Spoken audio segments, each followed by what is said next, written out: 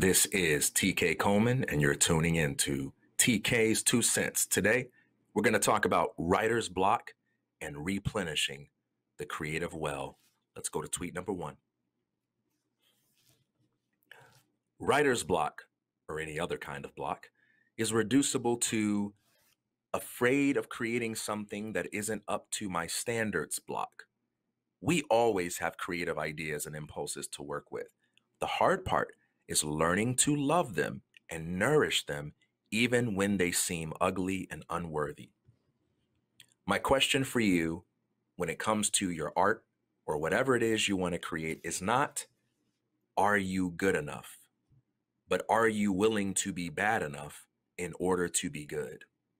The price we must pay in order to be competent is the willingness to look incompetent for a time. The price we pay in order to know things is the willingness to look like someone who does not currently understand. You cannot be great and look great at the same time. One of those has to give. Are you willing to look uh, not so great in order to actually become great?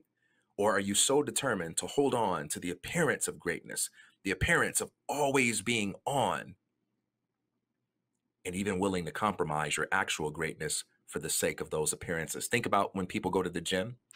I know sometimes we can dress up and make ourselves appear really awesome and, and pretty and amazing when we go to the gym. But ultimately, if you want to go to the gym and have a productive workout, you've got to be willing to get sweaty. You've got to be willing to look not your best.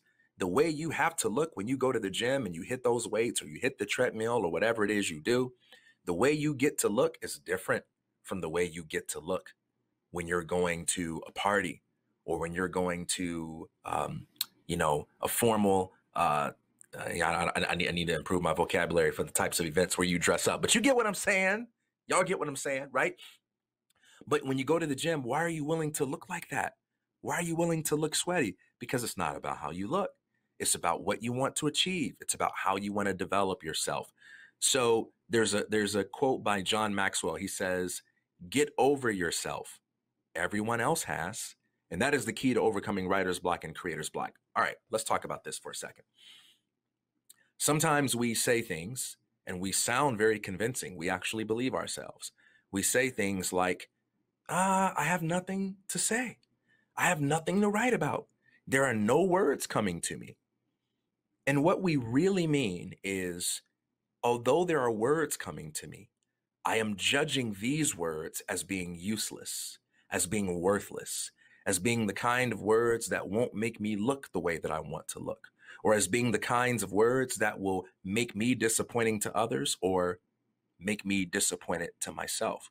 But we have thoughts, we have words. For instance, I don't have anything to say right now. Well, that's something to say. I'm really struggling facing the blank page. I feel so unworthy of this task. Well, that's something to say.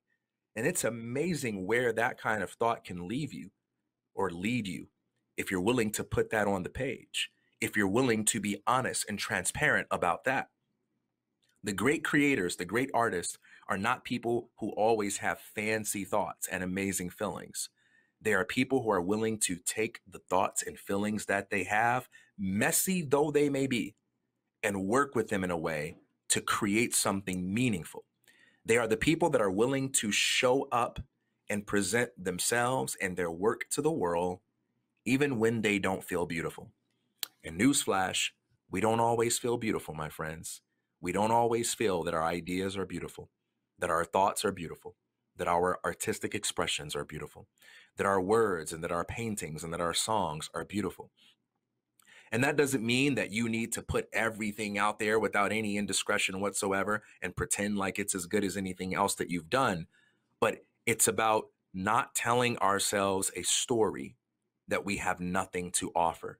And it's about recognizing that we always have something to offer. But the question is, do we have the courage to bless it? Do we have the courage to bring forth new possibilities in our lives by taking these ugly ideas and ugly feelings that we have and blessing them by saying, I love you anyway, even when you don't make me look good. And I'm going to take care of you. I'm going to nurture you and I'm going to work with you because this is what I have and this is all I need. Because if I nurture you and love you, you will take me somewhere else and you will give me more. That's how creative ideas work. So if you want to write something, you want to create something, and you feel stuck, my challenge to you would be well, what are those thoughts and ideas you have that you are rejecting because they're not good enough? And what are some ways that you can experiment with those ideas? What are some ways that you can play with those ideas? If you've ever participated in any brainstorming sessions, you know that some of the best ideas come from the bad ones. It's not about starting off with a good idea. It's about using whatever it is you have as an opportunity to get the energy flowing and then approaching things playfully. So maintain that spirit of play, maintain that spirit of open mindedness, maintain that spirit of non judgmental compassion towards yourself and the perceived ugliness of your ideas. Lean into that and watch the magic unfold. Let's go to tweet number two. There is no substitute for deliberately for time deliberately spent alone. Solitude, let me start that over. There is no substitute for time deliberately spent alone. Solitude and inner communion heals a multitude of ills. Don't deprive your everyday self of your deeper, extraordinary self. There is a song by one of my favorite jazz musicians, Kurt Elling, and it's called Never Never Land. And there is a passage of the song where he says, My friends, every day we go to our everyday work, we return to our everyday home and sit in the everyday chair. We drink from the everyday cup, but we never allow ourselves to go into the extraordinary places in our hearts and our minds. I ask you, my friends, how do you think a book is written? How do you think a song is born? How do you think a race is won? How do you think the world gets started? If a little daydreaming is dangerous, the cure for it is not to dream less, but to dream more, to dream all the time.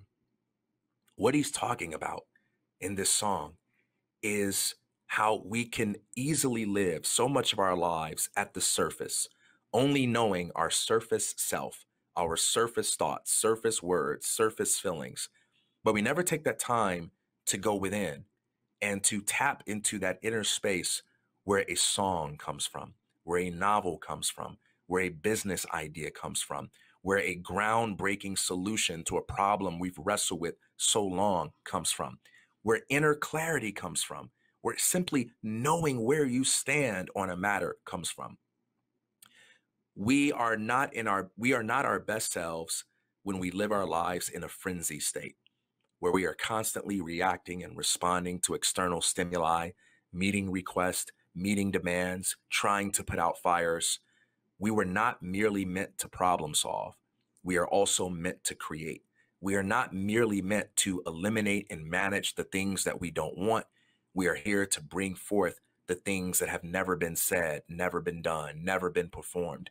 And the only way we can tap into that is by taking time to unplug from the world, taking time to go within and getting to know our own thoughts getting to know our feelings and intuitions beyond thought, and getting to know the voice of God and how that voice is calling us in a new direction. So many things that we worry about, so many things that we stress about, so many things that seem really difficult and insurmountable can be readily resolved if we got out of the mode of putting out fires and working really hard and we simply took some time to be alone. Underneath the surface you have a deep, extraordinary self that offers you so much value, priceless value. Don't deprive yourself of interacting with that deep, extraordinary self. Be willing to take time every single day to go beyond the surface. And then when you return to your work or to your friends, to your relationships, you'll be able to offer them more substance and be available to them in a way that cannot be measured by time alone you will be available to them by being a soul that is fully present. That's how you overcome writer's block. That's how you replenish the creative well. And those are TK's two cents for the day. I thank you all for tuning in. I really appreciate every one of you who take the time to watch this show and support my work. I encourage you to please hit the like button or the subscribe button. And if you have a comment, if you have feedback, if you have a question, if there's something you want to hear me talk about, please include that in the comments and please share this with a family member or friend that you think might benefit from listening to the show. All right, y'all. Take care. Until next time. Peace.